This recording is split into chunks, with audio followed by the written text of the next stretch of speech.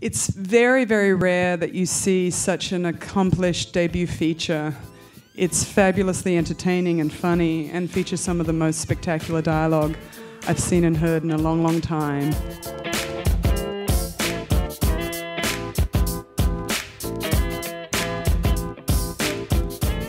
You, you read the script you say, okay, I want to be this guy. And then you got to find out um, what's behind all this, uh, you know, fairly eccentric, aggressive behavior. You begin to discover that there's a kind of a hidden softness to this guy, even though he's quite an animal when he gets out there.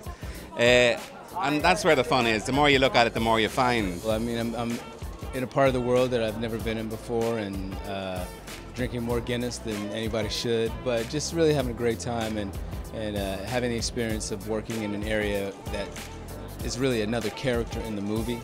Basically, you know, it's set up as a sort of buddy buddy cop movie, but it doesn't really play out that. It's a very sort of dark black comedy. And I'm a big fan of like um, American movies from the 70s, so I'm sort of playing around with all those kinds of old time movies, you know. Uh, so it has sort of elements of comedy, elements of a thriller at the end. Uh, and we're just going to wait and see how it plays tonight in LA. It's played really well everywhere else, so we'll see. Ladies and gentlemen, a big round of applause for John Michael McDonagh and Mr. Brendan Gleeson and Mr. Don Cheadle. Uh, no, I never really write with an actor in mind, but I think once it was written, um, it's very. I mean, Brendan and Don were my first two choices, and it was, it's very hard to see them watch the film now without them, really. You know, I hadn't read anything like it, and I really uh, took to the humor and the, the dark tone of, of the piece, and I thought it was just brilliant. I think as far as the comedy goes, you know, it's I see myself as sort of an equal opportunity misanthrope. So it's the the Americans get hammered, yes, but so does everybody else. You know, the Irish get it, the English get it, even the Welsh get it, and they've done nothing to nobody. That was my favorite thing. Nobody was, you know, in your. Everybody got taken down. I mean, I love when my character, when we're looking at the the surveillance tape, and he goes Devaney, and I go, oh, which one, the Italian?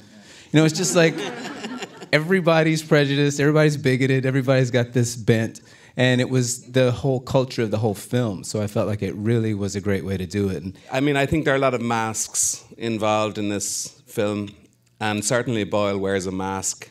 Uh, as Don was saying, his heart is not in any way prejudiced against really anybody, just per se. The whole character came out of me labouring for that long, having had a bad film made, and being filled with sort of bitterness, rage, and contempt. That's where, that's where Gerry Boyle comes from.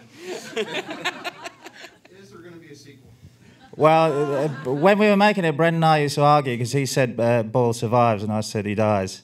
Uh, we never actually asked Don what he thought. I think if the movie performs, there's definitely a sequel. so please go out and see it a bunch of times and tell everybody. and in the sequel, uh, I think Boyle comes to Atlanta. now you try it out.